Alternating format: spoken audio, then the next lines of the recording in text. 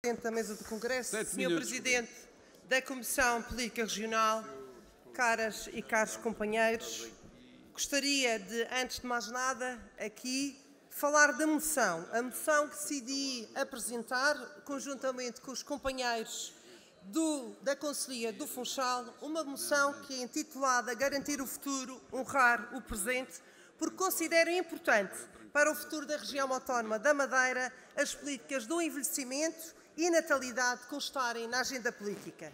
E porque considero que somos o único partido em que o povo da Madeira e do Porto Santo pode confiar para continuar a defesa da autonomia, a defesa dos valores e princípios do trabalho que sempre fizeram o dia a dia da nossa população.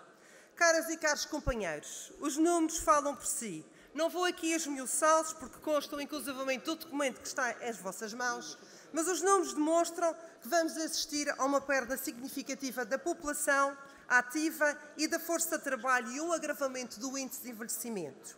São consequências graves para a região, são consequências que têm a ver direta e indiretamente com o sistema de pensões e de políticas sociais em geral.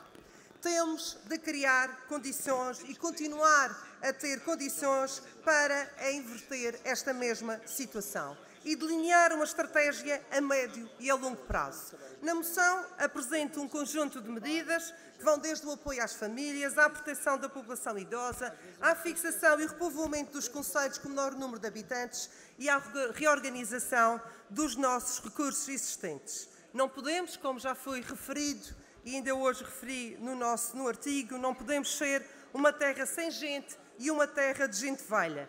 Temos de ser uma região onde as famílias se sintam felizes, onde a parentalidade seja uma realidade constante e onde se envelheça com dignidade.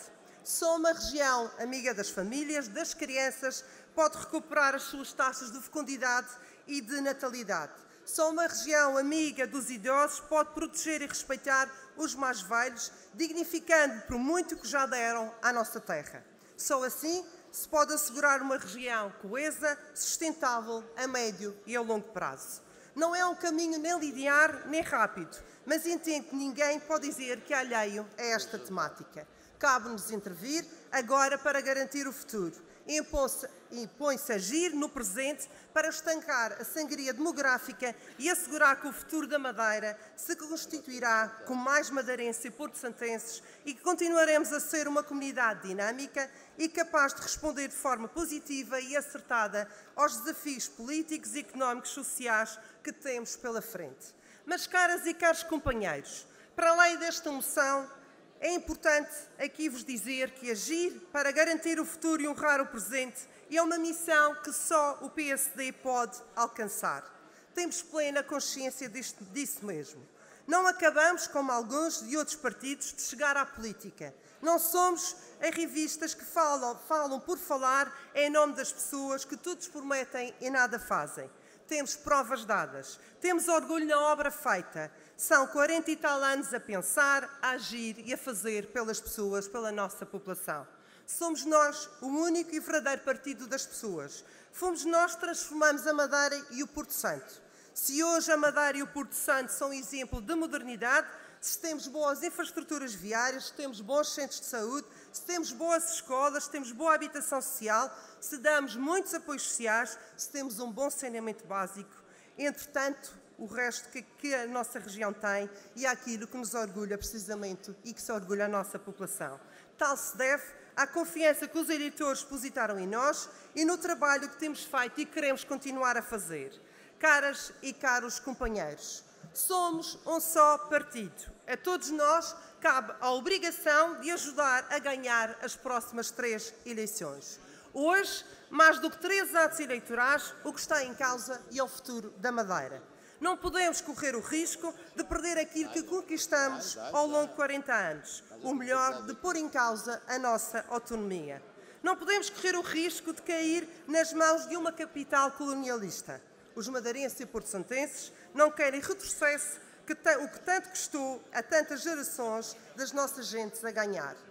Não, querem ser, não queremos ser governados a partir de Lisboa. Ainda para mais, todos nós sabemos a República, em especial os governos socialistas, sempre olharam com desconfiança para a autonomia e raramente mostraram serem capazes de respeitar as nossas necessidades, o nosso pensar e agir, o facto de termos órgãos, próprios, órgãos de governo próprio legitimamente eleitos para a nossa população. É importante que cada um de nós não perca tempo com aquilo que é acessório. As questões secundárias ou pessoais não podem, de modo algum, atrapalhar a nossa ação política. Mais do que estarmos unidos, temos que ser responsáveis. E aqui apelo ao sentido de responsabilidade de todos os nossos militantes e simpatizantes, porque conheço o que é que está do outro lado, porque semanalmente eu e os meus companheiros de variação lidamos com isso. Sabemos que nada vale, sabemos que foge às suas responsabilidades quando tal é conveniente, sabemos que recorre a um conjunto de ideias vagas sem qualquer tipo de projeto concreto.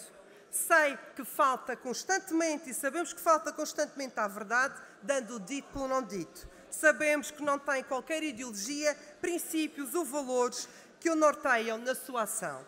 É, em suma, alguém que não olha aos meios para alcançar os fins, um catavento político a quem os madeirenses e ponto-santenses não podem confiar e que faz da nobreza da política do que deve ser uma missão em prol das pessoas a um jogo narcisista.